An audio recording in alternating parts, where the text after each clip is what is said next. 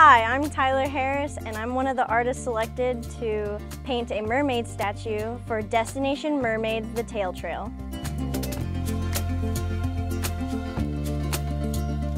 So I was, uh, ever since I was in preschool, ever since I was around three, I started drawing and I started creating and throughout my whole childhood, I just started loving creating things more and more, whether it be, you know, drawings, animation, to more recently, I've been creating things like plushies or stuffed animals or costumes. Um, so I'm really diversifying my arts and I just, in the broad spectrum, I want to be in the entertainment industry.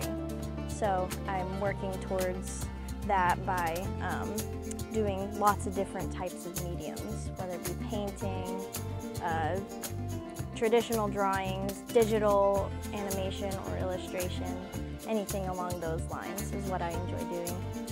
Recently, um, actually last year, I have I had a friend in school, Timmy Murray, and he happens to be the water park manager at Buck Bay, and he wanted me to do a mural in the lifeguard shack for promotional purposes, and um, it worked. And then I got the article done about it, and it started building my bridges for me. And then I was told also by um, Timmy and Robin that uh, about the Mermaid Trail. So um, I hopped on that opportunity and I was like, let's do it.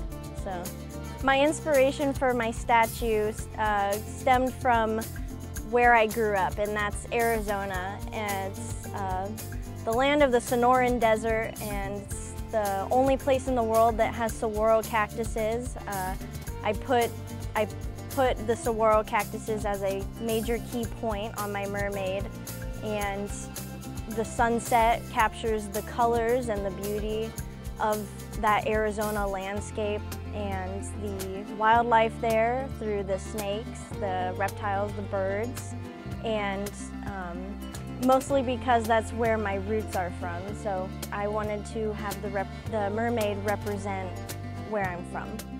Another thing I uh, thought would be um, interesting or unique about my mermaid being a southwestern mermaid is that when you think of the desert, you don't think of mermaid.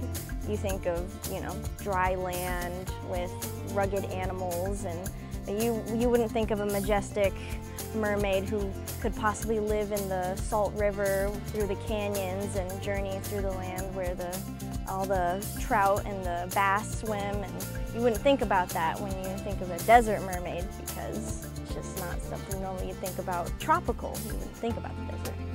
Come out and visit us at the 75th anniversary on October 13th and come and meet the artists. We would love to meet everybody and it's going to be an awesome time.